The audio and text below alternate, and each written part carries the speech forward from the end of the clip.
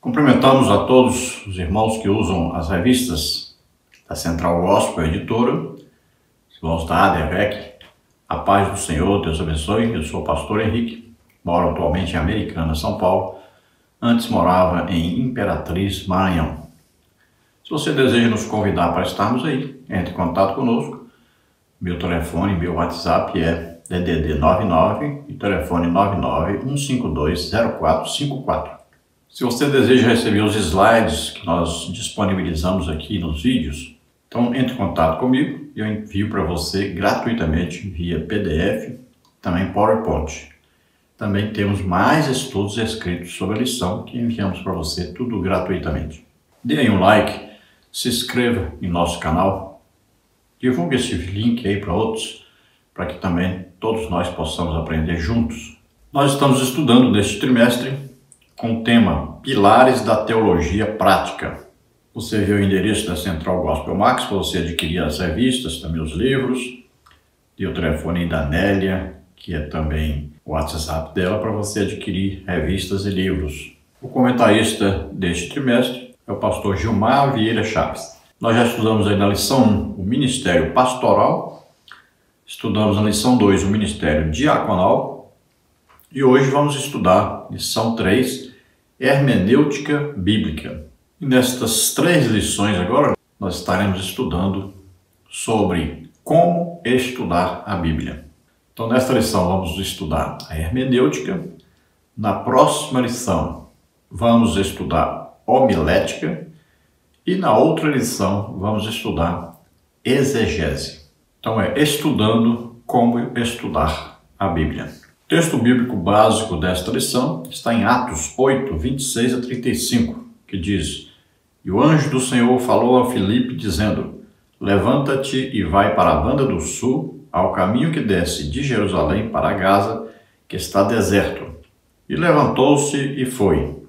E eis que um homem etíope, eunuco, mordomo de Candace, rainha dos etíopes, o qual era superintendente de todos os seus tesouros, e tinha ido a Jerusalém para adoração, regressava e, assentado no seu carro, lia o profeta Isaías.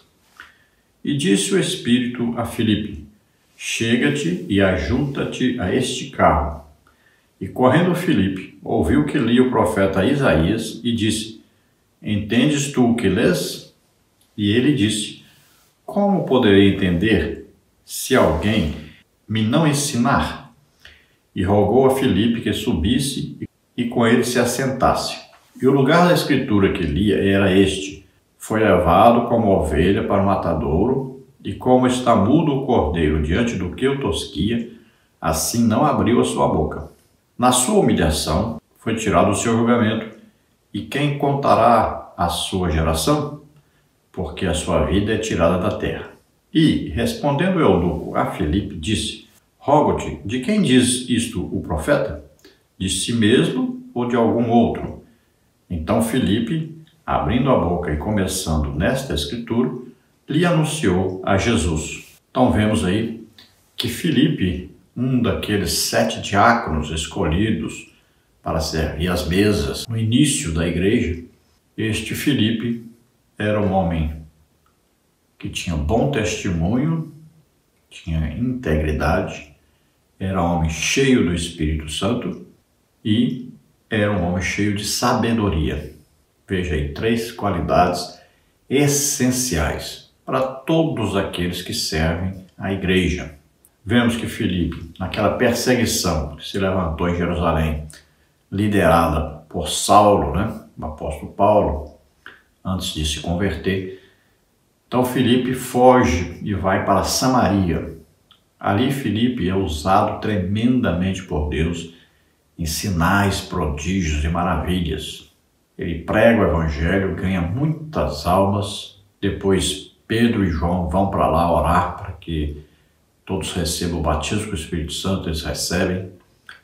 E aí então nós vemos que Filipe agora é chamado por Deus para ir ao caminho que descia de Jerusalém para Gaza. Então aquele homem estava retornando para sua terra, a Etiópia. Ele era primeiro-ministro né, da rainha Candace. Candace é um título honorífico. Assim como tem Doge na Espanha, Cisar na Rússia, Faraó no Egito. Então, era um título, Candace. Então, ele era primeiro-ministro ali. Ele estava retornando de sua ida a Jerusalém. Muito provavelmente um convertido ao judaísmo.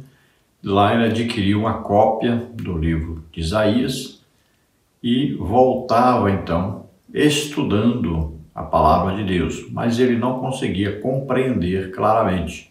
Então vemos que um anjo do Senhor vai até Filipe e dá a ele a ordem para ir se encontrar com este homem. Veja, este homem estava desejoso de conhecer a palavra de Deus, de conhecer Jesus Cristo. E qualquer pessoa no mundo inteiro que tiver este desejo, Deus enviará alguém para pregar a ele o Evangelho, para lhe ensinar a palavra de Deus, para lhe ensinar como se chegar a Jesus Cristo e ser salvo. Todo aquele que invocar o nome do Senhor será salvo. Então vemos que este homem estava no seu carro, né? Aí uma carruagem, estava lendo o profeta Isaías. Então Filipe se chegou do lado, identificou o livro do profeta Isaías, perguntou para ele: Você está entendendo o que está lendo? E ele disse: Não, como vou entender se ninguém me explicar? Então Felipe vai e se dispôs a ajudá-lo a entender o texto. Então esse eunuco que era mordomo-mor da rainha Candace, da Etiópia, ele pede então para Felipe explicar para ele. Felipe aproveita o texto de Isaías capítulo 53 e vai conduzir um ensino a respeito desta palavra, explicando que isto se refere a Jesus Cristo. Então ele vai fazer ali um ensino dentro de todo o capítulo que vai indicar exatamente que aquele a quem Isaías estava se referindo era Jesus Cristo, o Salvador.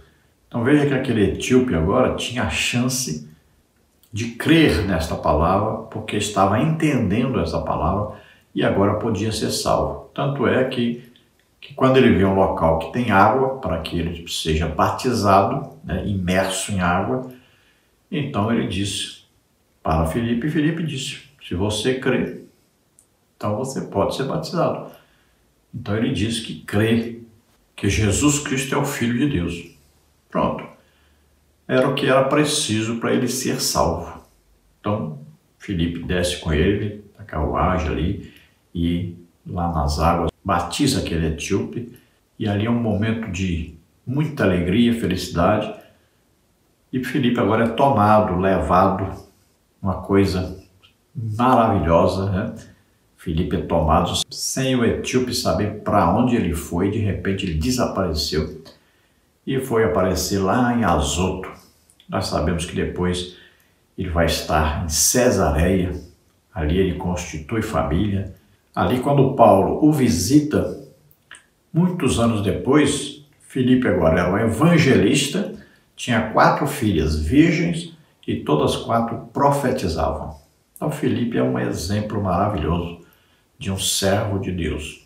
De diácono se tornou um evangelista. E o etíope foi para sua terra e, devido ao que nós sabemos sobre a Etiópia naquela época, a Etiópia aceitou o evangelho Ali se desenvolveu uma igreja muito poderosa, com disposição para pregar o Evangelho. Veja, a obra de Deus sendo feita de maneira maravilhosa, assim como foi no início da igreja, no dia de Pentecostes, onde muitas nações estavam ali representadas e aquelas pessoas saíram por toda parte pregando o Evangelho, abrindo a igreja por toda parte. Isso que nós estamos fazendo aqui, então, é uma hermenêutica, uma homilética, uma exegese, tudo dentro de um texto. Isso é pegar o texto, você vai estudar a época, né, o que acontecia, ver o mapa da região, você vai fazer perguntas ao texto, né, o que significa o termo Candace, por exemplo. Você vai estudar sobre isto. Você vai ver o contexto aí, Felipe, onde ele estava antes, para onde ele foi depois. Você vai ver também a história, né, para saber que a Etiópia depois foi um grande centro evangelístico. Tudo isso é usado para aprendermos esse texto. Mas vamos ver bastante coisa mais dentro do desenvolvimento da lição. Então, a hermenêutica é uma ciência que vai dar a nós ferramentas para nós estudarmos, aí no nosso caso, a Bíblia. É evidente, claro, que o mais importante é estarmos em comunhão com o Espírito Santo, porque o Espírito Santo é quem inspirou os escritores a escreverem o que está registrado na palavra de Deus. Então, se ele inspirou, nós, tendo comunhão com ele, podemos perguntar a ele o que significa o que está escrito e ele vai nos ensinar. É evidente que isso vai nos custar né, alguma coisa, vai nos custar jejum, muita oração, muita dedicação a ler a palavra de Deus, a estudar a palavra de Deus pacientemente, procurando entender e sempre perguntando ao Espírito Santo. Então, o estudo da palavra de Deus tem aí a necessidade de sabermos como estudar a palavra de Deus, mas sempre dependentes de uma revelação, de uma explicação melhor ainda do Espírito Santo. Jesus disse: O Espírito Santo vos ensinará tudo. E também a palavra de Deus diz que a unção do Espírito Santo está em nós e esta unção nos ensina todas as coisas. Veja o que diz 1 de João 2,27. E a unção que vós recebestes dele fica em vós, e não tendes necessidade de que alguém vos ensine, mas como a sua unção vos ensina todas as coisas, e é verdade, e não é mentira, como ela vos ensinou, assim nele permanecereis. Então veja que sem a revelação, sem o ensino do Espírito Santo, não adianta nem se aproximar das Escrituras, que nós não vamos conseguir compreendê-la apenas com as ferramentas humanas de estudo da palavra de Deus. É preciso que haja uma ação sobrenatural do Espírito Santo para que nós possamos compreender mais claramente a palavra do Senhor. Textual da lição está em 1 de Pedro 3,15, que diz: Antes santificai a Cristo como Senhor em vosso coração, e estáis sempre preparados para responder com mansidão e temor a qualquer que vos pedir a razão da esperança que há em vós então, durante a nossa vida cristã, nós temos que estar em constante oração, em jejum, em estudo da palavra de Deus. Por quê? Porque vão aparecer pessoas que necessitam de nossa ajuda para que eles compreendam a palavra do Senhor, como é o caso aí do eunuco, né? que pediu a Felipe ajuda para entender o texto que ele estava lendo. Veja, se Filipe não fosse um homem que era estudioso da palavra de Deus e não fosse um homem cheio do Espírito Santo, muito provavelmente aquele eunuco não teria aprendido, não teria sido salvo. Então devemos nos lembrar que toda a palavra de Deus é inspirada pelo Espírito Santo. Nenhuma profecia que está registrada na Bíblia é de particular interpretação sempre precisa da interpretação do Espírito Santo.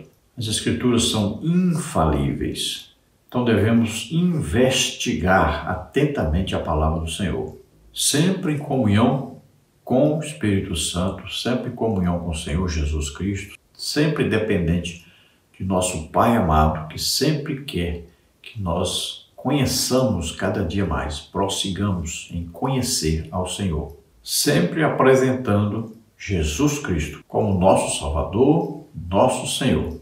Nesta lição vamos ver os seguintes tópicos e seguintes subtópicos. No tópico 1, a abrangência da hermenêutica.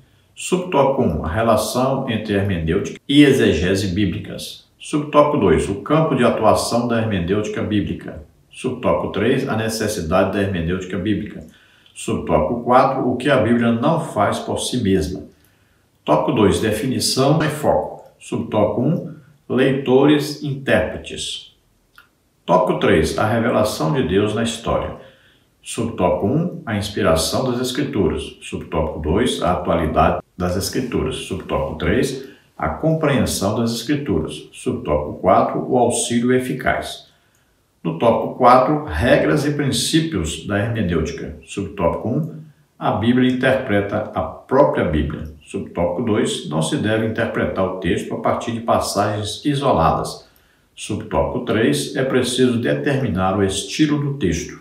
Vamos procurar então passar por todos esses tópicos e subtópicos para entendermos a nossa lição. Vamos à palavra introdutória, que diz: A palavra hermenêutica é oriunda do idioma grego e tem íntima relação com a ciência, a arte e a técnica de interpretar textos. No estudo das Escrituras, é ela quem define os princípios ou métodos para a interpretação do significado dado por um autor específico em sua mensagem. A hermenêutica bíblica fornece ao leitor as informações necessárias para a compreensão das Escrituras isso inclui situações históricas, geográficas ou culturais específicas que não se apresentam de forma explícita no texto, mas estão ali de forma implícita. Desse modo, pela pesquisa e pelo estudo, podem ser encontradas. Então veja que nós vamos pegar o texto e vamos estudar a palavra do Senhor de maneira que nós vamos fazer perguntas. Né? Se você vai falar, por exemplo, sobre a mulher samaritana. Você vai perguntar onde é Samaria?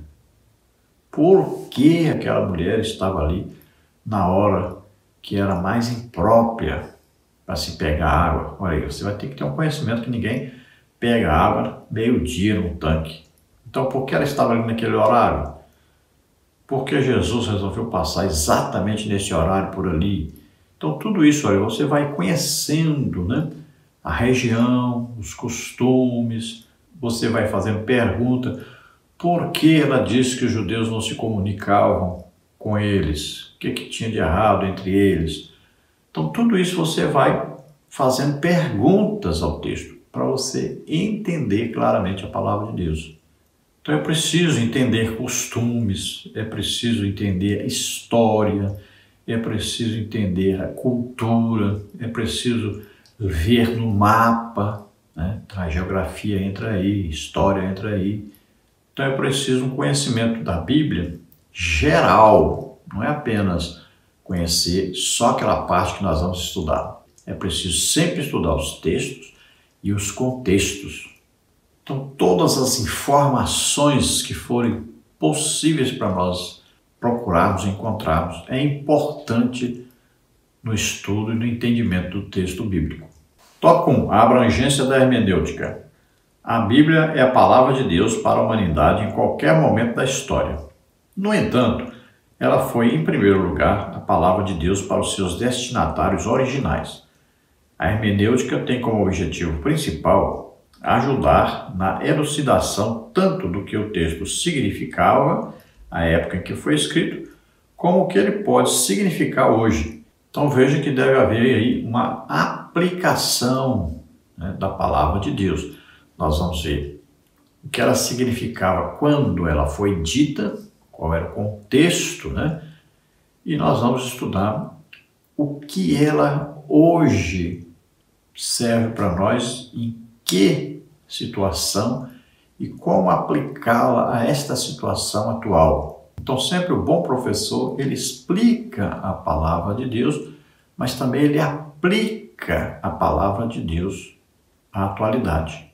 Tópico 1, subtópico 1, a relação entre hermenêutica e exegese bíblicas. No estudo da Bíblia, hermenêutica e exegese são conceitos que caminham juntos.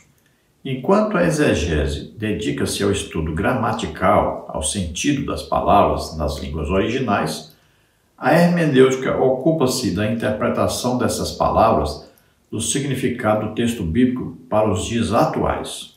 Então veja, a exegese, geralmente, ela é feita a gente pegando aí o texto e o contexto. Né? Nós vamos pegar o que está escrito na Bíblia a respeito do texto que nós estamos estudando. Já a hermenêutica, ela vai mais profundo ela vê o tempo em que essa palavra foi aplicada, o que significava, e vai aplicar hoje também esta palavra, o que ela significa hoje, qual a função dela hoje na nossa vida prática cristã. Como a nossa Bíblia já está traduzida né, dos originais, já está em português, então nós temos que procurar textos e contextos. A exegese é mais fácil de ser feita, porque já está tudo traduzido. Aqui e acolá encontramos alguma coisa que a gente precisa saber ali mais pontualmente, o original, ou em hebraico, aramaico ou grego. Mas de um modo geral, não é tão necessário, né? E hoje também nós temos aí as Bíblias, né? Você coloca no celular, no computador, aí Bíblias que te dão aí a palavra no original, quais são os significados, além de ter os livros para isso. Mas é bem simples hoje. Você pega aí uma Bíblia, coloca no seu celular e vê lá, palavra tal. Ah, ela está em hebraico, significa isso, isso e isso. Ah, ela está em aramaico, significa isso e isso. Ah, ela está em grego, significa isso, isso e isso. Uma palavra só às vezes tem dez significados diferentes. Então, na hora da tradução, né, se pega a palavra mais correta ali para aplicar naquele texto. Então, o trabalho de exegese, praticamente né, 80, 90% já foi feito quando a Bíblia foi traduzida. Agora, a aplicação desse texto nos dias de hoje, então, requer que nós tenhamos um conhecimento geral dentro da cultura, da história, dentro dos costumes judaicos, né, ou de outra região. Por exemplo, as cartas de Paulo já dentro de regiões né, diferentes, na Ásia, por exemplo, né, na Europa. E precisamos de muito auxílio também da geografia. Tópico 1, subtópico 2, o campo de atuação da hermenêutica bíblica. Em termos gerais, a hermenêutica trabalha com a contextualização, isto é, com a comunicação do texto bíblico e sua aplicação às realidades da vida atual. Este fato é muito importante porque preserva a Bíblia de tornar-se antiquada e irrelevante e permite que ela continue sendo infinitamente o livro de todas as épocas e de todos os povos. Então a hermenêutica trabalha muito dentro da contextualização, ou seja, pegamos o texto, sabemos o que ele significa para aquela época em que foi escrito e aplicamos esse texto à época que nós estamos vivendo. Então é uma aplicação da palavra de Deus para os nossos dias, para a vida prática nossa dentro do estudo da palavra de Deus. Então nós vamos ver aí o que significa essa palavra e como ela pode ser aplicada em nossa vida no cotidiano. Então no nosso dia a dia nós vamos aplicando o que está na palavra de Deus à nossa própria vida, às situações pelas quais nós passamos. Então a hermenêutica vai nos ajudar exatamente nisto e aí, quanto mais nós estudamos a palavra de Deus e procuramos aplicar esta palavra à nossa vida atual, tirando lá daquela situação que ela estava, daquele tempo que ela estava, para os nossos dias, aí então nós vamos ter assim mais prazer na leitura e no estudo da palavra de Deus. Tópico 1, subtópico 3, a necessidade da hermenêutica bíblica. Apesar de inspirada por Deus, a Bíblia foi escrita em linguagem humana, dentro dos limites impostos por culturas igualmente temporais. Pela própria natureza da linguagem, as verdades absolutas das Escrituras correm do mesmo leito das linguagens e culturas humanas dos antigos hebreus e gregos. Assim, é absolutamente necessário o conhecimento de tais culturas em seus usos, costumes e leis, para que se chegue a uma adequada interpretação dos textos bíblicos. Então veja, o Espírito Santo é quem inspirou os escritores, mas os escritores tinham ali a situação de vida onde eles estavam. Então, qual eram os costumes onde eles estavam? Qual era a linguagem? Né? Toda linguagem tem os seus vícios de linguagem, tem, tem as suas gírias. Né? Então, cada um foi usado por Deus para escrever o texto, mas ele escreveu na linguagem humana, de compreensão daqueles que estavam ao seu redor. Então, isso tudo nós temos que entender para poder compreendermos corretamente e aplicarmos aos nossos dias. Então, as culturas em que viviam esses escritores precisam ser conhecidas por nós. Principalmente o que? Os seus usos, seus costumes e suas leis para nós compreendermos como foi aplicada esta palavra naquela época, que ela causou naquela sociedade naquela época. E aí nós vamos aplicar essa palavra à nossa época, sabendo que ela vai produzir efeitos práticos na nossa vida hoje. E nós temos, é claro, usos, costumes e leis muito diferentes do que acontecia naquela época. Tópico 1, subtópico 4, o que a Bíblia não faz por si mesma. A Bíblia não ultrapassa sozinha barreiras culturais para comunicar seu significado. Ela necessita do princípio hermenêutico de interpretação e da ação de pessoas para fazer com que a sua mensagem singre as águas do Cronos e alcance o ser humano em seu espaço-tempo cultural indistintamente. As verdades do Evangelho são simples, mas a tarefa de desvendar o significado original de textos específicos é uma ocupação humana revestida de complexidade e exige trabalho árduo. Então veja, existe o tempo de Deus e existe o tempo dos homens. Deus não está sujeito ao tempo como nós. Para ele tudo é presente. Ele sabe tudo sobre o passado, sabe tudo sobre o futuro. Então, para ele, tudo é presente. Por exemplo, ele sabe o dia que eu nasci e sabe o dia que eu morri. Então, ele tem o quê? Presciência. Né? Ele sabe as coisas que vão acontecer no futuro, ele já sabe antes. Porque ele já deu uma olhada no futuro e viu. Para nós é diferente. Né? Nós conhecemos, lembramos alguma coisa do passado, conhecemos alguma coisa pouca sobre o presente e desconhecemos o futuro. Então a palavra de Deus, ela fala tanto do passado, quanto do presente, quanto do futuro. Nós temos que aprender a distinguir isso, né? o que é aí passado, o que é presente, o que é futuro. Então são as coisas escatológicas, né? principalmente. Então nós temos que aprender a distinguir isso. Faz parte da hermenêutica. Para nós conseguimos captar isso. Aí nós vamos ver, olha, isso aqui foi escrito naquela época, mas não era para aquela época. Era para os nossos dias. Ou então, não é para os nossos dias, é para dias que ainda virão. Veja que Jesus deixou de falar muitas coisas aos discípulos porque naquele tempo eles ainda não conseguiam compreender as coisas. Então ele deixou para que eles aprendessem depois, quando os discípulos disseram: O Senhor vai restaurar o reino nesse, nesse tempo? E ele diz: Não vos pertence saber os tempos e estações. Então veja só: quais? As que Deus preparou para que ele saiba. No tempo devido ele vai revelar. Então, existem coisas que são reveladas, né? São para nós. E as coisas que são ainda mistério são pertencem a Deus, que Deus vai revelar quando ele achar que deve revelar no tempo próprio. Então, o que nos pode ser revelado, nós vamos procurar, né, através da hermenêutica, estudar a palavra de Deus e descobrirmos o máximo possível de coisas que Deus nos permitir conhecer. Então, isso exige um trabalho muito grande, uma dedicação muito grande. Uma revista, por exemplo, de Escola Bíblica Dominical, é um trabalho de três meses aí de, daquele que escreve a revista, né, esses comentários. Então a pessoa precisa estudar muito, ele vai passar uns três meses se dedicando pelo menos aí de quatro a cinco horas todo dia ao estudo da palavra de Deus, com livros, né? Aí procurando nos sites também, são cada coisa hoje que tem aí, dando Google, por exemplo, né? Então a pessoa vai procurar por toda parte, todo tipo de estudo, vai, vai procurar os originais, vai procurar para todo lado, várias Bíblias, várias traduções aí.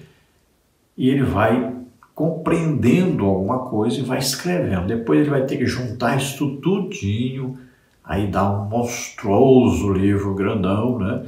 Então ele vai ter que reduzir, vai ter que aí fazer um resumo, depois o resumo do resumo, depois resumo do resumo, depois resumo do resumo do resumo e vai assim, vai montando tudo até formar então um livro definitivo que aí daí é que vai ser tirado então a revista da Escola Bíblica Dominical, que tem toda uma equipe para fazer e montar essa revista. E veja que na revista ainda tem os comentários extras para ajudar ainda. Né? Então veja, é muito complexo o trabalho, exige muito. Então você pega uma montanha de coisas, de livros, estudos, escritos e tal, né? para depois reduzir a um livro só. E no nosso caso, a revista que já é o resumo do livro. Tópico 2: Definição e foco. É necessário focalizar a mensagem de um texto bíblico à luz da situação histórica na qual foi gerada, para sua perfeita compreensão. Então vamos ver aqui sobre o estudo histórico do texto que nós vamos fazer aí um estudo né, dentro da hermenêutica. Tópico 2, sobre tópico 1, um, leitores e intérpretes. Ao aproximar-se da Escritura, o leitor deve lembrar-se da máxima de Martinho Lutero, quando afirmou que todo leitor da Bíblia é também o seu intérprete. Assim como um repórter moderno, algumas perguntas, dentre outras, precisam ser feitas e respondidas. Quem escreveu o texto? Nome, família, nacionalidade, ocupação, condição social. Era um erudito ou uma pessoa do povo? A quem inicialmente a mensagem foi endereçada? Em que tempo histórico foi escrito? Datas. A partir de qual localidade foi escrito? Espaço geográfico. Em que contexto histórico, social, econômico, religioso foi escrito? Com que objetivo foi escrito? Finalidade. Qual a mensagem central do livro ou do texto? O que o autor queria dizer originalmente? Significado. Qual é o gênero do livro em estudo? Narrativa histórica, leis, poesia, parábolas. O sentido do texto é figurado ou literal?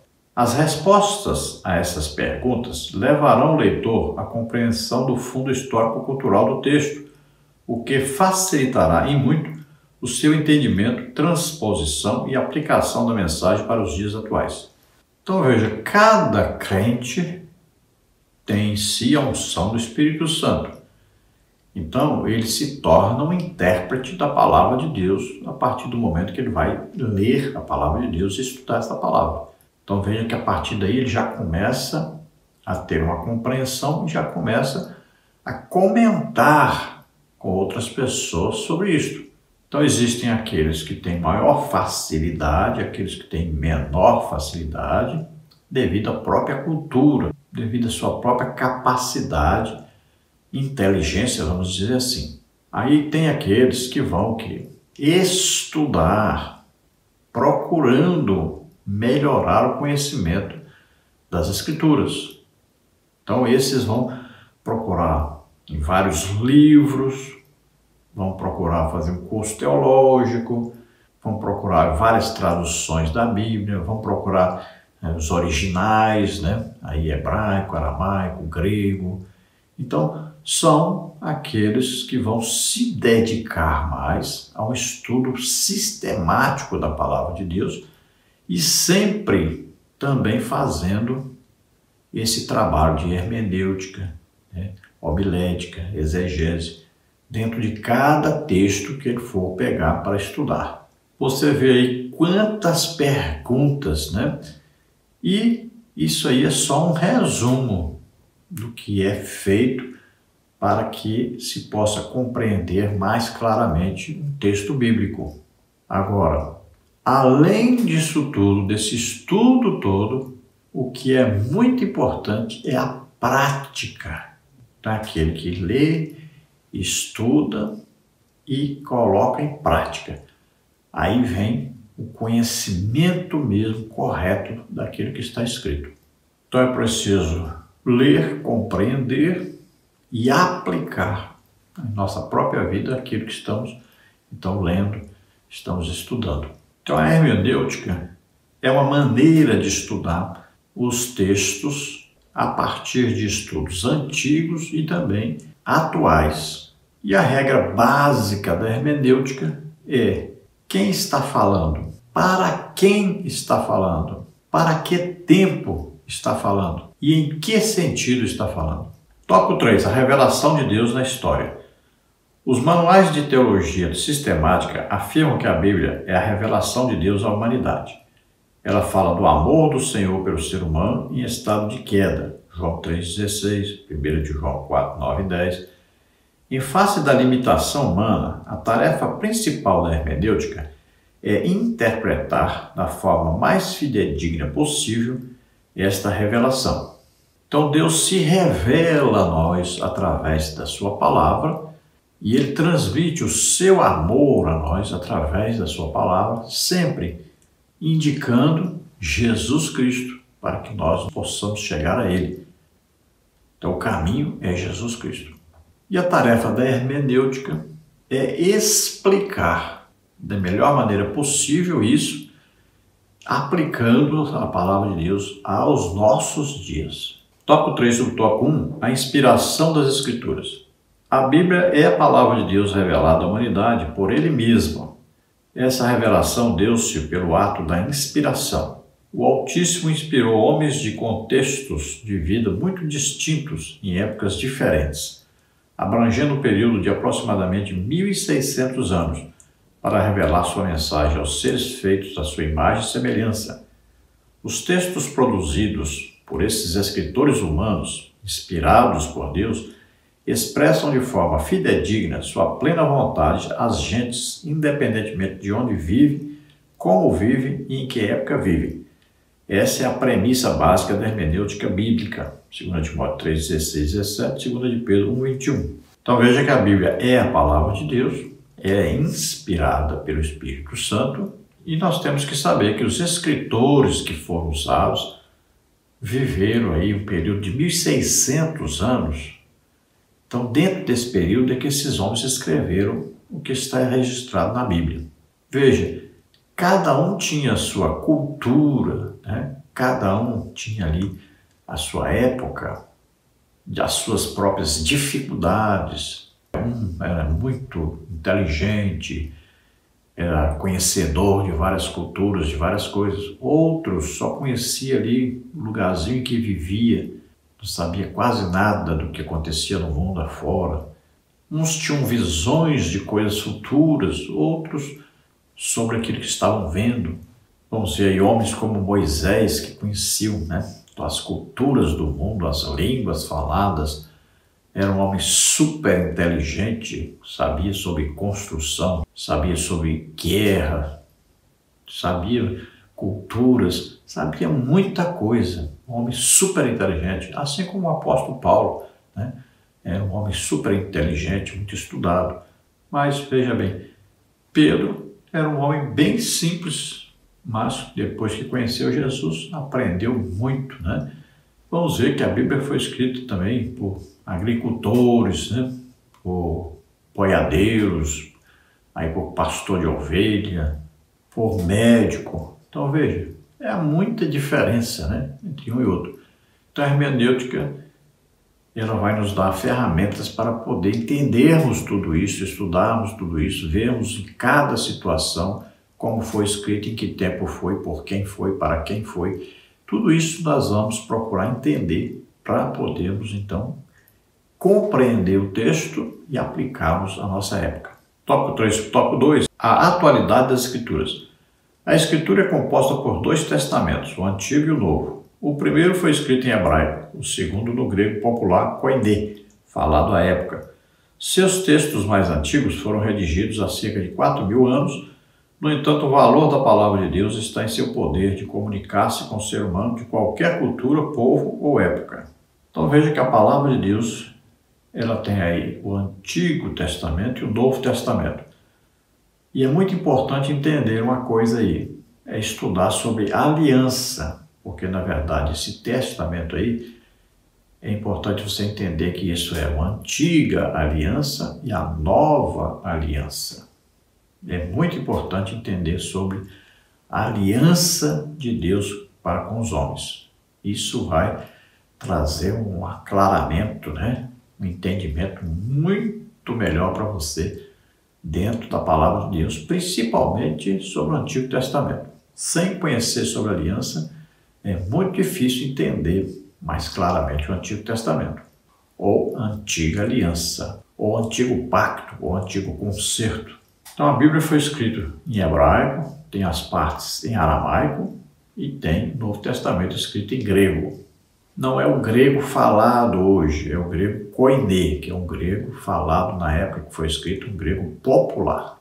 Então, embora fosse escrito em época diferente, tem escrito há mais de 4 mil anos, que foi escrito que está na Bíblia, né, em Gênesis, por exemplo, mas tudo isso está escrito e tem como compreendermos se dependermos, então, desses estudos e principalmente do ensino do Espírito Santo. Então a Bíblia não é ultrapassada, ela é atual. O que está escrito deve ser entendido como a palavra de Deus atual para nós. Tópico 3. O tópico 3 é a compreensão das Escrituras. As Escrituras Sagradas, mesmo compondo um livro que pode ser entendido tanto por iletrados como por pessoas cultas, são compostas por textos de difícil compreensão. Isso é um fato. Nos escritos de Paulo, por exemplo, Pedro reconheceu haver partes de difícil entendimento, segundo de Pedro 3,16. Se um contemporâneo de Paulo não pôde apreender tudo o que o apóstolo escreveu, não causa estranheza o fato de termos dificuldades para assimilar determinados assuntos, mesmo tendo sempre e necessariamente o auxílio de várias fontes de consulta e, sobretudo, a ajuda do Espírito Santo. Então, é evidente, né, quem já leu a Bíblia toda, quem até leu várias vezes, é evidente que existem textos que nós temos muita dificuldade para entendermos. Por quê? Muitos deles não são para serem entendidos agora. Então, existem coisas que pertencem né, a Deus e Ele tem o conhecimento e sabe a época própria para que revele esse conhecimento. Então são coisas que a Bíblia diz as coisas reveladas são para nós e as que estão ainda escondidas, né? Elas ainda pertencem a Deus e Deus ainda resolveu não revelá-las, que vão ser reveladas no momento certo, na época certa. Então, por exemplo, se nós pegarmos aí Apocalipse, né? Muitas coisas nós não vamos ainda compreender. Agora, na época que elas vão acontecer, elas serão compreendidas. Então Deus vai nos revelando de acordo com, primeiro, nosso estudo, nosso conhecimento. Quanto mais nós conhecemos, mais nós podemos aprender. Quanto mais maduros na fé nos tornamos, mais nós compreendemos. E quanto mais íntimos de Deus nos tornamos, mais também Ele vai nos revelando. Então veja que, apesar de Pedro viver na mesma época de Paulo, muitas coisas que Paulo escreveu, Pedro não conseguia entender. E ele mesmo disse isso, que não conseguia compreender. Ele disse que eram coisas difíceis de ser entendidas. Então imagine, se ele viveu naquela época de Paulo e não conseguia compreender direito, ele conheceu o próprio Jesus Cristo, não conseguia compreender direito, imagine nós. Agora, Muita coisa que Pedro não conseguiu entender naquela época, hoje nós compreendemos claramente, porque hoje é tempo de nós conhecermos, porque agora Deus nos permite conhecermos. Tópico 3. Tópico 4. O auxílio eficaz. Em face das dificuldades naturais de compreensão, será preciso lançar mão de ferramentas específicas para uma adequada compreensão do texto bíblico. A oração, o estudo contínuo e persistente o contexto e a consulta de bons comentários bíblicos serão de grande ajuda. De igual modo, a hermenêutica e a exegese têm colaboração fundamental no processo de compreender-se aquilo que permanece, em certo sentido, encoberto. A hermenêutica permite-nos sair do nível mais superficial do entendimento para cavar mais fundo o terreno do real sentido do texto bíblico e, assim, encontrar os mais profundos e verdadeiros tesouros da verdade divina. Então veja aí, com oração, jejum, estudo sistemático da palavra de Deus, pegar aí bons livros, que você conheça os autores, né? que você tenha confiança naquilo que eles estão escrevendo, que você saiba que eles estão acostumados a escrever, que são bons escritores, são bons entendedores do texto bíblico. Então, isso tudo ajuda. A dependência do Espírito Santo é muito importante e a primeira coisa mais importante para se entender o que está escrito, pois foi o próprio Espírito Santo que inspirou os escritores que escreveram. Então, a hermenêutica e a exegese serão importantíssimas né, para nós podermos saber como aprendermos. Não é só sair lendo, lendo, lendo tudo, mas temos que saber o que é importante para nós compreendermos para que possamos consultar então a palavra de Deus e descobrir aquelas coisas que são mais importantes, que são, vamos dizer assim, chaves né, para entendermos os textos, sempre na dependência do Espírito Santo. Então a hermenêutica ela vai nos ajudar a cavar, né, a buscar mais profundo, ou seja, maior conhecimento. Se nós não fizermos a hermenêutica, nós vamos ter um conhecimento superficial da palavra de Deus. Então não teremos aí um conhecimento apurado do texto. Agora, quando nós vamos fazer o estudo, então nós temos que nos dedicar a isso. É como se cavássemos né, um poço para pegar água. E a melhor água está onde? No fundo do poço. Quanto mais fundo, melhor a água.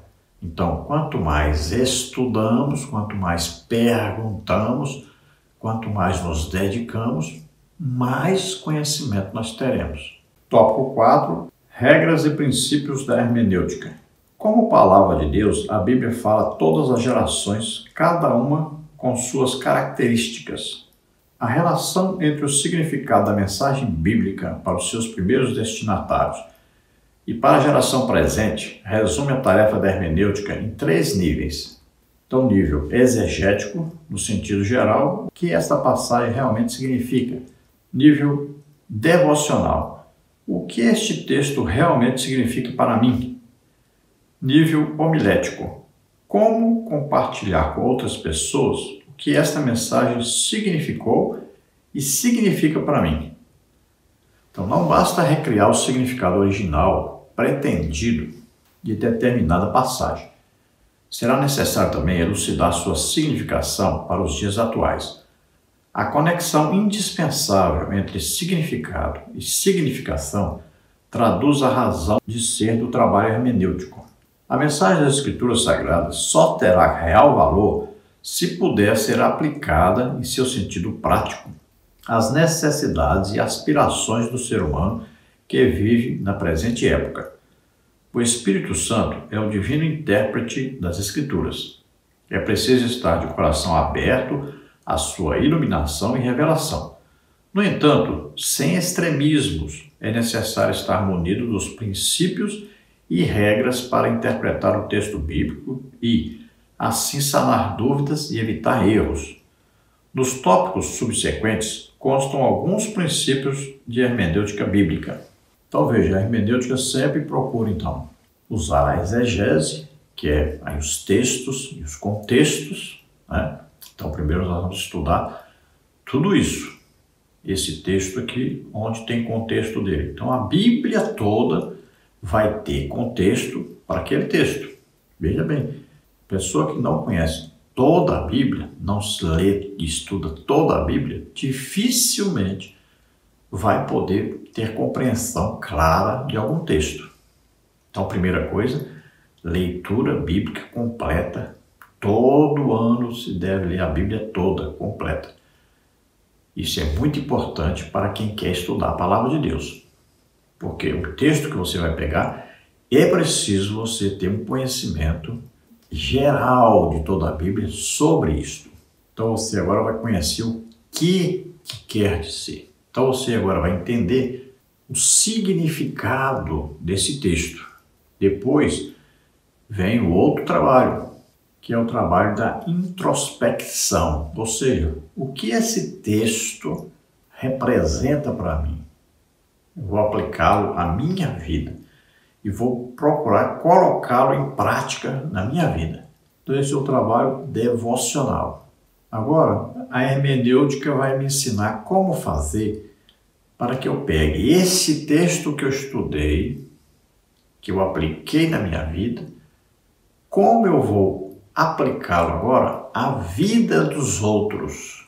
Então veja que a hermenêutica traz uma aplicação social, uma aplicação geral do texto que eu estudei, apliquei na minha vida e agora quero transmitir aos outros. E depois nós vamos estudar também sobre aí como transmitir, né? Quais as maneiras de se transmitir isso aos outros. Que aí entra a parte da homilética. Então a hermenêutica vai me trazer o que? A aplicação atual de uma coisa que foi escrita aí 4 mil anos atrás, 3 mil anos atrás, 2 mil anos atrás. Então, como aplicar isso aos dias atuais? Por quê? O que, que é pretendido? É pretendido que aquela pessoa que vai nos ouvir aplique em sua vida e isso sirva para os dias de hoje melhorar sua vida e prática cristã. Então vamos ver algumas coisas básicas para entendermos como fazer isso. O tópico 4, subtópico 1, a Bíblia interpreta a própria Bíblia. A Bíblia deve ser interpretada à luz do seu próprio contexto. Este princípio é chamado de regra áurea da interpretação bíblica. Assim, uma passagem das Escrituras é analisada a partir do conjunto de passagens que a ela estão inseparavelmente ligadas. Então, é o texto e o contexto. Para nós compreendermos a palavra de Deus, isso é importantíssimo. Sempre pegar o texto, mas pegar também os contextos. Então, pegar ali o que diz sobre isto em outra parte da Bíblia. E nós vamos procurando todos os lugares onde existe um contexto para esse texto. Porque a Bíblia interpreta a própria Bíblia.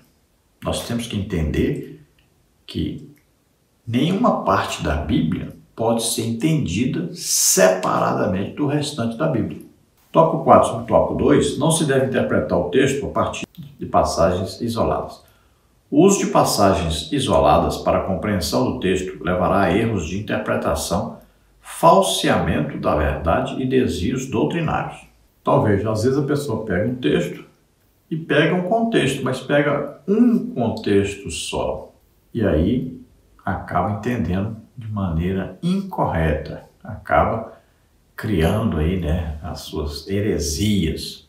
Então veja que é preciso um entendimento correto em textos do Antigo Testamento e textos do Novo Testamento. Se a pessoa pegar só Antigo Testamento, ela vai entender de um jeito. Se ela pegar só texto do Novo Testamento, ela vai entender de outro jeito. E as duas estão aí incompletas. Então é preciso juntar as coisas, tanto o Antigo Testamento quanto o Novo Testamento, para se ter uma compreensão mais clara do texto. Por exemplo, a teologia da prosperidade. Onde ela busca seus textos? No Antigo Testamento. Então ela vai falar da riqueza de Abraão, de Isaac, de Jacó, de Davi, né? Então ela vai buscar lá. Ela não vai buscar isso no Novo Testamento, porque no Novo Testamento não tem. Ninguém ficou rico depois que se entregou a Deus, que começou a viver no Evangelho. Nós vamos ver aí todos os apóstolos, nenhum deles era rico. Então veja só, quando a pessoa pega um texto e escolhe, não vou pegar só do Antigo Testamento, pronto, já está errado, já está criando uma doutrina, já está inventando coisas que a Bíblia não concorda. E aí ele passa a forçar os textos do Novo Testamento para poder dar vazão à sua ideia, dar apoio à sua ideia que ele buscou só no Antigo Testamento. Então ele começa a torcer as escrituras. Tópico 4 sobre tópico 3 é preciso determinar o estilo do texto. Embora seja muito importante considerar, em primeiro lugar, o sentido literal do texto, há um número abundante de figuras de linguagem e simbolismos nas Escrituras. O próprio Senhor Jesus utilizou-se amplamente desses recursos em seus ensinos. Se o teu olho te escandalizar, lança-o fora. Marcos 9,47. Eis que eu vos envio como ovelhas ao meio de lobos. Mateus 10,16. Então é preciso entender textos que são, por exemplo, figuras, né? de alguma coisa. Aí existem as parábolas, né? existem as histórias, existem os símiles. Então, são vários recursos literários. E a Bíblia tem muito isso. Então, não podemos interpretar um texto sem olhar que tipo de texto é esse. Qual o sentido literal do texto? É uma poesia? É uma história? É uma parábola? Então, temos que identificar o texto para poder melhor compreendermos. Por exemplo, a tipologia bíblica. Então, muitas pessoas são tipos de Cristo na Bíblia. Né? Então, nós vamos ver, por exemplo, Isaac, vamos ver José. Então, existe essa tipologia. Né? Então, tudo isso nós temos que considerar ao estudarmos a palavra de Deus. Se nós formos estudar sobre escatologia, por exemplo, né? vamos ver aí, por exemplo, no livro de Daniel, se nós não conseguimos detectar que tipo de texto nós estamos estudando, nós vamos sem entendimento algum. Então, lá em Apocalipse, né? o que significa besta, falso profeta, o anticristo. O que quer dizer isso? O anticristo é literal, é uma pessoa? É. A besta é uma pessoa? E nós vamos ver, olha aí. É Satanás. Então, temos que ver que existe simbologia e existe interpretação literal também. Então temos que saber onde a interpretação é literal, onde é simbólica, qual o significado, por exemplo, de ovelha. Aí num texto, ovelha tem um sentido, no outro texto, ovelha tem outro sentido. Qual o significado de lobo, né? de fermento. Então são várias coisas que nós temos também que estudar. Tudo isso compreendemos isso para aplicarmos aos textos. Tópico 4, tópico 4. O texto deve ser analisado de maneira imparcial. Em outras palavras, significa dizer que é preciso analisar o texto sem subjetivismos ou crenças preconcebidas. O trabalho de interpretação deve ser feito de coração aberto e disposto a encontrar a verdade. Deve-se evitar as amarras denominacionais, o misticismo e as visões fantasiosas e carentes de solidez. Então, olha, dependendo muito do tipo de vida que você leva, por exemplo, que tipo de autores de livros você lê, que tipo de vídeos você assiste, que tipo de igreja que você frequenta, qual denominação, tudo isso vai influenciar quando você for estudar a palavra de Deus o que você aprendeu ouvindo um pregador vai te influenciar na hora de interpretar um texto. Veja, por exemplo, quantos pregadores, quantos ensinadores vão dizer para você que quando Jesus entrou na água para ser batizado por João, João sabia que Jesus era o Filho de Deus. Várias pessoas pregaram sobre isso, ensinaram sobre isso. Mas se você for fazer um estudo correto você vai ver que João Batista era primo de Jesus. João Batista conhecia Jesus como seu primo, mas não como filho de Deus. E aí o texto é bem claro e, por incrível que pareça, muito pouca gente compreende que João diz bem claro: eu não o conhecia. Não conhecia como? Claro que conhecia como primo. Tanto é que a Maria, mãe de Jesus, foi visitar a mãe de João Batista eram primas, se conheciam, se encontravam nas festas judaicas. João Batista conhecia Jesus? É evidente, conhecia como primo. Agora João Batista está dizendo, eu não conhecia o quê? Como Deus. Mas aquele que me enviou a batizar, quem foi? Deus. Disse para mim, aquele que você vê descer sobre o Espírito Santo, esse é meu filho. E João Batista disse, eu vi. Quando eu fui batizar nas águas, eu vi descer sobre ele o Espírito Santo.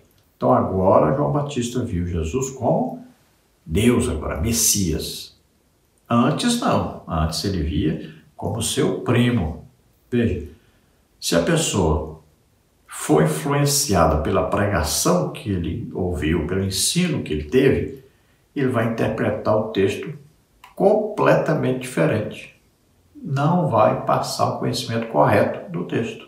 Então, por exemplo, se a pessoa tem uma educação calvinista, ele vai pegar um texto e vai entender, por exemplo, batismo com o Espírito Santo, ele vai entender que era só para a época dos apóstolos. Veja, a compreensão dele está errada. Ele não está aplicando o que está na Bíblia a nossos dias, a nossa vida prática hoje. Então ele acha que é só para aquele tempo. Olha aí, o ensino dele vai ser totalmente distorcido. Então, se ele pega um texto falando que Jesus morreu por todos, no entendimento dele, Jesus só morreu por um grupo de pessoas que foram escolhidos por Deus antes da fundação do mundo para serem salvos e que os outros todos estão condenados ao inferno. Olha aí, torceu todo o texto, entendeu completamente diferente e vai aplicar isso completamente diferente. Aí outro exemplo, ele acha então e aprendeu lá que a graça é irresistível. Então, ele vai falar Jesus para a pessoa, se a pessoa não aceitou, não quis, pronto, ele desiste dessa pessoa, porque para ele essa pessoa não foi escolhida para ser salva.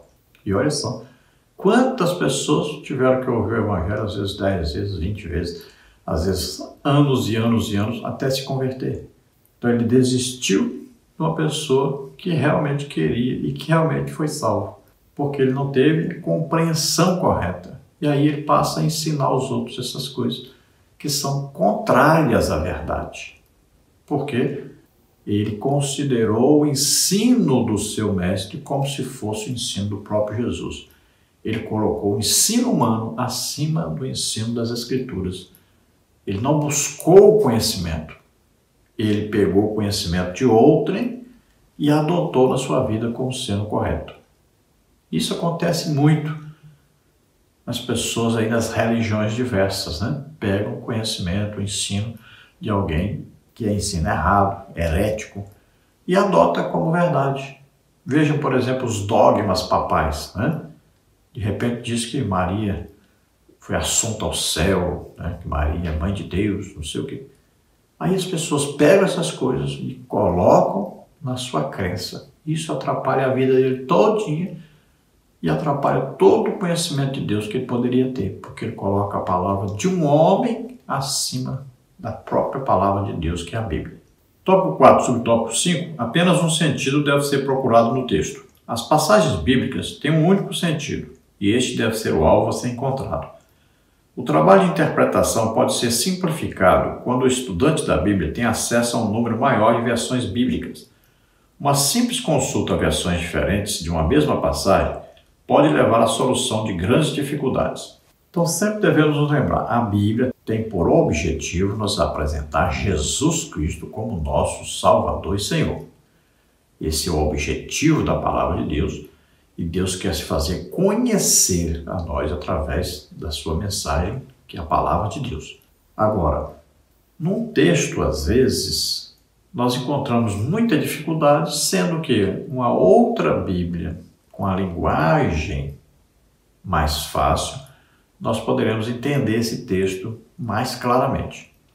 Agora, temos que tomar todo cuidado porque tem surgido Bíblias e mais Bíblias aí com traduções errôneas. Estão querendo modernizar demais e acabam transmitindo erradamente a palavra de Deus. Então temos que tomar cuidado com isso também. Acontece muito. Né? Principalmente quando essas Bíblias foram comentadas ou traduzidas por pessoas que não são da nossa própria denominação, que não têm o verdadeiro conhecimento bíblico. Então, esse cuidado nós temos que ter, porque existem muitas Bíblias por aí que foram aí adaptadas as religiões, né? as denominações, e acaba nos prejudicando no nosso entendimento. Então faça aí um apurado, né? Quem é essa Bíblia? De quem é? O que quer acreditar? O que, que está errado? O que, que está certo? Hoje está tão fácil, né? Você vai no Google e fala lá, Bíblia tal, tradução tal, está correta? Então você vai ver lá vários comentários. Aí você vai ver um comentário de alguma pessoa da sua igreja falando sobre isso. E muitas vezes vai ajudar você a saber que, opa, essa Bíblia aqui não é muito bom eu ter ela não. Ela vai me atrapalhar ao invés de ajudar. eu gosto sempre de indicar. Olha, pega uma Bíblia aí, Almeida Revista e Corrigida. Pronto, não precisa mais do que isso. Para de ficar complicando. E aí, se baseie no que está escrito ali, que é o mais correto. É uma tradução boa, que tem nos ajudado muito. E todos esses mestres que você vê hoje aí estudaram nesta tradução. As outras traduções podem ser usadas para ajudar, mas não como referência. Conclusão: Martinho Lutero foi um monge agostiniano, considerado profeta e personagem principal da reforma protestante.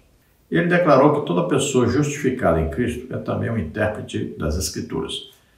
Esta afirmação constitui-se não apenas uma devolução das Escrituras à Igreja e aos seus membros, mas também traz sobre os ombros de cada pessoa nascida de novo o compromisso pela busca do real e verdadeiro sentido da mensagem bíblica. Então eu não quero aqui citar homens, né, o que, que o homem disse, o que, que o homem disse. Eu quero citar a própria Bíblia. Então veja aí, 1 de João 2,27. E a unção que vós recebestes dele fica em vós, e não tendes necessidade de que alguém vos ensine.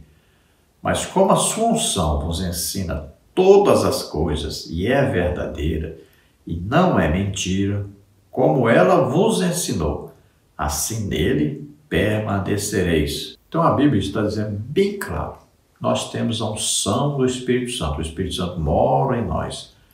Jesus diz que ele nos ensina todas as coisas. Então você vai tendo comunhão com o Espírito Santo, você vai vendo, você vai lendo, vai compreendendo, você vai estudando cada dia mais, se aprofundando na graça, no conhecimento de Deus, cada dia crescendo, crescendo, crescendo. O Espírito Santo vai te mostrando lá dentro, te dá aquela certeza, é isso, esse texto significa isso. Eita, esse aqui está meio assim, será? Então, já é dúvida, estude mais para entender melhor. Então, procure estudar e use aí a hermenêutica, a homilética, a exegese, tudo que for ferramenta então, use para você aprender bem e poder transmitir aos outros, sempre aplicando então a palavra de Deus na sua própria vida. Olha, durante muito tempo no Brasil foi proibido se ter uma Bíblia. Veja só. E ainda as missas aí católicas eram celebradas em latim. Imagine, as pessoas não tinham permissão de aprenderem a palavra de Deus. Veja que coisa mais triste. E aí existem milhões e milhões de pessoas no mundo que não têm nem acesso a uma Bíblia, não têm nem sequer uma porção da palavra de Deus para lerem. Imagine que coisa mais triste isso. Então você tem aí uma Bíblia, você tem a palavra de Deus, às vezes você tem até mais de uma Bíblia em sua casa. Procure ler a Bíblia, procure estudar a palavra de Deus, Leia a Bíblia toda, todo ano. É muito simples, olha, um capítulo na hora de levantar, um capítulo na hora do almoço, um capítulo na hora da janta, um capítulo na hora de dormir. Pronto. Em um ano você já leu a Bíblia toda. Simples, né? Então, leia. Se apaixone mesmo por esse livro. Procure entendimento. Busque a palavra de Deus. Leia sempre. E você será muito bem-aventurado. Vamos orar agora. Se você ouvindo esta palavra deseja aceitar Jesus agora na sua vida como seu Senhor, como seu Salvador, como único Salvador e Senhor. Se você deseja entregar a vida a Deus agora, se você quer pedir perdão a Deus, se arrepender dos seus pecados agora, então faça isso. Jesus veio aqui à terra, nasceu como homem, viveu aqui como homem, levou sobre ele os nossos pecados, doenças, enfermidades, maldições tudo que nos era contrário, levou sobre ele, morreu em nosso lugar na cruz e ressuscitou, está à direita do Pai, intercedendo por nós. Você crê nisto, você é salvo agora. Vamos orar. Peça perdão Senhor pelos seus pecados. E se você está doente ou está enfermo, creia, Jesus te cura agora. Vamos orar. Pai, em nome de Jesus, te apresentamos essas vidas que se chegam a ti, que estão arrependidos agora dos seus pecados. Toma, Senhor, em teus braços perdoa, Senhor, escreve seus nomes no livro da vida. Ragrala glostete revelar, lagrare mi força medicei. Oh, se alegre, porque Jesus na cruz já deu a sua vida em seu lugar, levou seus pecados todos naquela cruz. Se alegre, seja agradecido a Deus, sirva ao Senhor a partir de hoje, em nome de Jesus. Você que está doente ou está enfermo, seja curado agora. Solta toda doença, toda enfermidade. Receba Receba o poder de Deus, receba agora a graça de Deus, receba a salvação, receba a cura em nome de Jesus. Solta, em nome de Jesus. Toca, Senhor, essas vidas, em nome de Jesus. Amém? Glória a Deus. Não se esqueça, dá o like, se inscreva no nosso canal, entre em contato e envio para você os slides que nós usamos aqui. Também mais estudos escritos sobre lição em PDF e PowerPoint. Esperamos ter ajudado os irmãos. A paz do Senhor, Deus abençoe.